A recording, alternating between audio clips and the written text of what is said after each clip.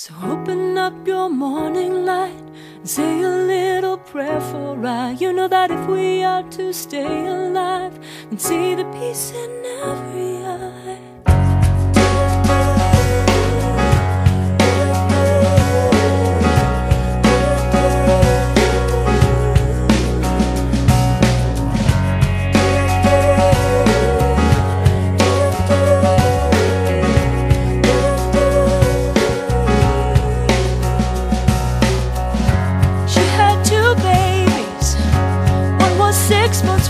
in the war of 44.